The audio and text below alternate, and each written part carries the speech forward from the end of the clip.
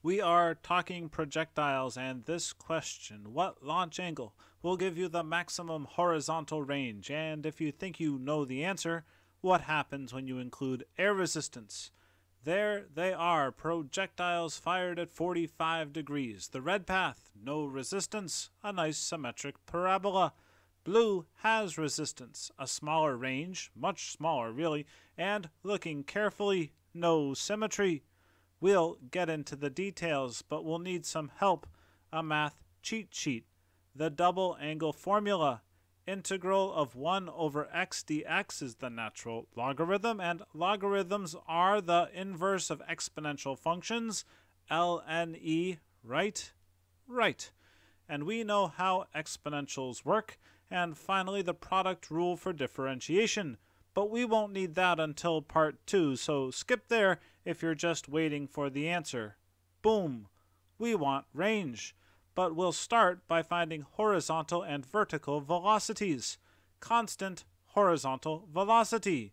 Vertically speaking, the acceleration is 9.8 meters per second squared down. See it? Constant horizontal velocity. Vertically, it's a positive velocity on the way up, and a negative velocity on the way down. This, my friends, is the simpler case without air resistance, and we'll tackle it as a warm up for the more complicated case and to outline our four step method.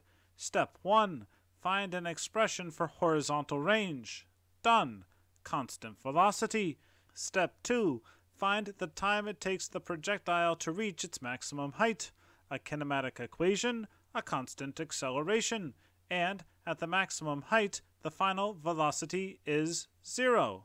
Great! The time it takes to reach the maximum height. Step 3. Find an expression for the projectile's total hang time. Pretty simple.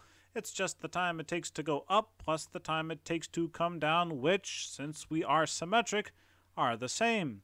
Meaning we are ready for step 4, using the results of this and that to find the range, which gives us a chance to use the cheat sheet, the double angle formula, and a chance to remember our mission maximizing range.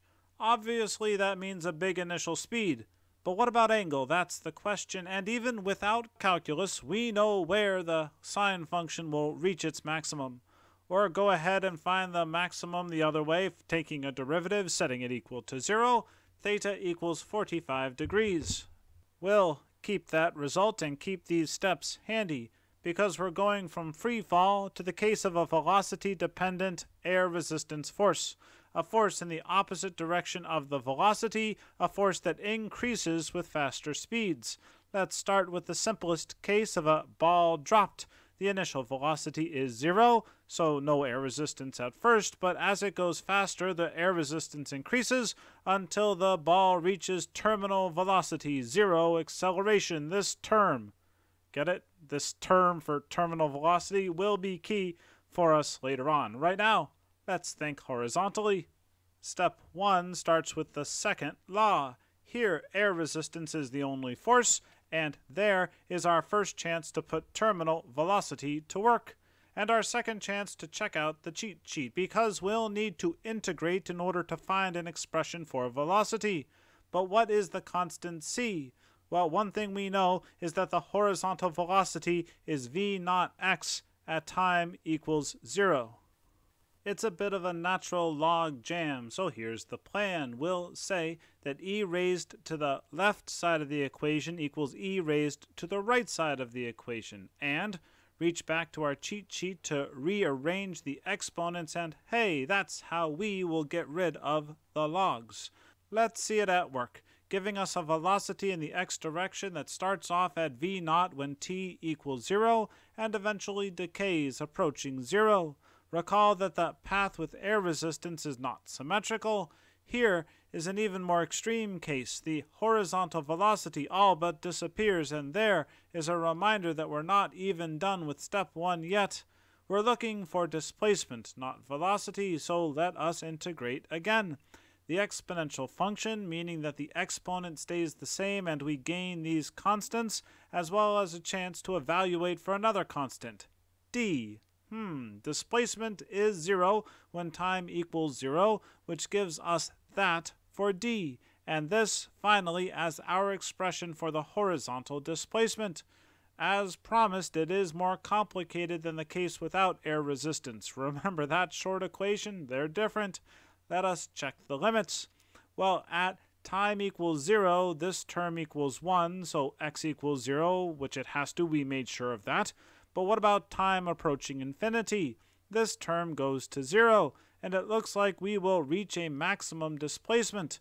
This is closer to the real world case of pushing or rolling any object horizontally. Newton's first law says we can plan on it just traveling forever with inertia, but experience tells us that resistance forces or friction forces will cause it to stop. Okay, but our projectile does not have infinite time. That brings us to step two, the time needed to reach the maximum height, the vertical dimension. Two forces now in Newton's second law, another chance to substitute with terminal velocity, more algebraic housekeeping, and another turn for the natural logarithm. Finding constants, it's just fun, especially because Vy equals Vy naught when t equals 0, and there you go. And here we are, again, raising e to the left side of the equation and raising e to the right side of the equation and settling on this. It's not pretty, but what does it look like? Hmm. Checking limits, we know that at t equals 0, this term equals 1. We made sure, after all, that vy would equal vy naught at time equals 0, which it does, but what happens when t goes to infinity? This term goes to 0, and vy becomes negative terminal velocity, which makes sense, terminal velocity downward, but it's not what this graph shows, because this graph is only showing half of the story. On the other side, we see an object dropped with air resistance. For both graphs, the constant acceleration line is included there for reference, but note that with air resistance, our projectile will reach its max height sooner. Oh yeah, we're supposed to be finding the time it takes the projectile to reach that max height. Easy. Set Vy equal to 0, and look back at our cheat sheet, the older version this time. If e to the y equals x, then y equals ln x. So there's our e to the y and our ln x. And a chance to be careful about negatives, which turn into reciprocals and an expression for the time it takes the projectile to reach its maximum height. t up. Step 3 is finding the total hang time, t up plus t down, without air resistance, symmetry, the same time going up and coming down, up and down. The weight force is always down. The resistance force is the opposite direction of the velocity. Add it up, and the acceleration is greater when the ball is going up, smaller when the ball is coming down. If this is the constant acceleration case, air resistance gives us something closer to this, a steeper slope going up, a flatter slope when coming down. And if you recall that the area under a velocity versus time graph equals displacement, then these two triangles should have must have equal areas. Translation, t up is less than t down. It kind of floats down, which is true even though the ball will travel further horizontally while ascending than while descending. Think of the second half of the trajectory as basically just floating down. Let's get to it. This is our expression for velocity. We want time. Integrate for vertical displacement. Why? Why? Well, we'll find out later. The exponential remains. Kick out a constant. Vt becomes Vtt, and we're looking for d. Knowing that y is 0 at time 0, okay. Okay, but I'm not exactly happy about it. Let's check our limits. At time equals 0, this goes to 0 and that goes to 0. Good.